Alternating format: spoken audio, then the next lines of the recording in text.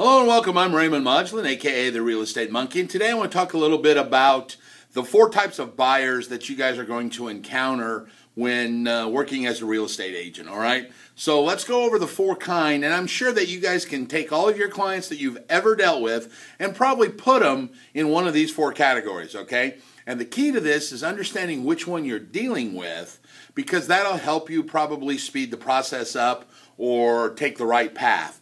The very first one I want to deal talk about is the experienced buyer. Now, the experienced buyer is the one everybody wants. This is somebody that's probably done three or four closings, five or six, um, and they understand the process.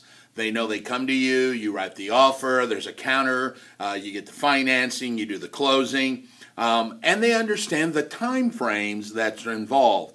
This is key because they want to make sure, or you want to make sure, that they understand hey, I make an offer, four or five days later, we get a counter, we close 45 days after that, we've got to get the title company, takes so many days, and they don't rush the process.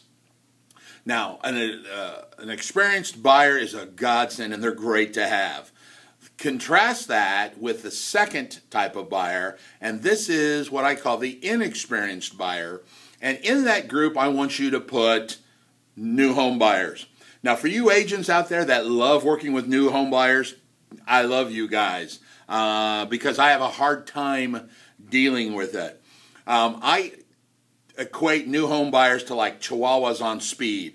You know, I mean, they're so excited, you can literally see them vibrating you know, and they want to know something and they want the problem and they want to buy a house now. Not only now, they wanted it five minutes ago. And that lends itself to having a very out of control customer because with them not understanding the process on how you get paid or the methodology or the time frames, they believe they see a house, they make an offer, the guy responds today, you uh, close next week.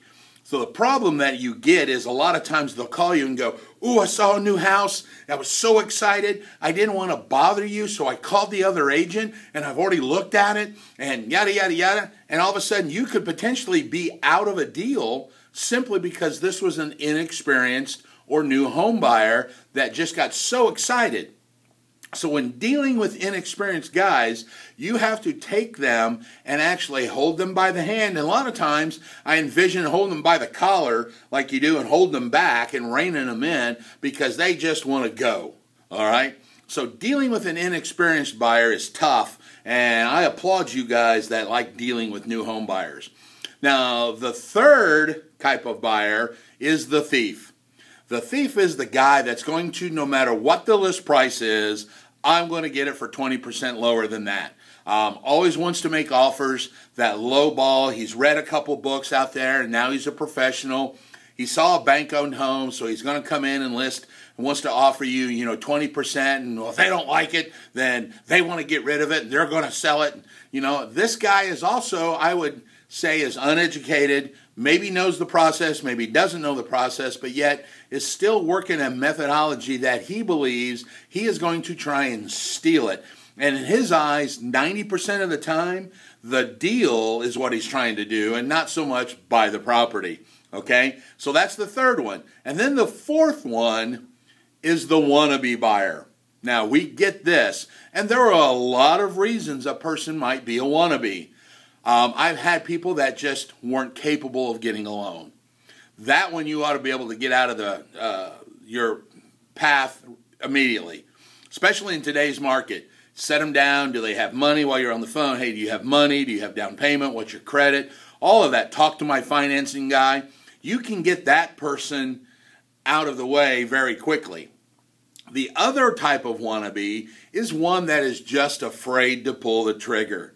Now, I have dealt with this a couple different times. You, you see what he wants, you find the perfect house, you go look at it, and then you just can't get him to buy, pull the trigger. A lot of times we call this analysis paralysis. Happens a lot in investing too. Uh, spend so much time thinking about well, uh, can I save a dollar here by making this offer, or should I do this by do this? And ultimately, when it comes down to making the offer, it's been a week or two, and the house is already off the market. So now you got to go through the same process again with the next property. This is a person that maybe thinks they want to buy, they just can't quite mentally get it together. All right? So that's the wannabe buyer. So what you've got is the experienced buyer, the inexperienced buyer, the thief, and the wannabe. I'm telling you now, all of your clients will probably fit with inside one of these four. All right? Uh, that's all I got for today. Come back later. We'll talk uh, a little bit about something else that's going on, whatever strikes me that day. If you've got any ideas about something or you want to actually do a guest blog, give me a call. We can work something out. Uh, I'm Raymond Modulin, aka the Real Estate Monkey. We'll talk to you later. See you. Bye.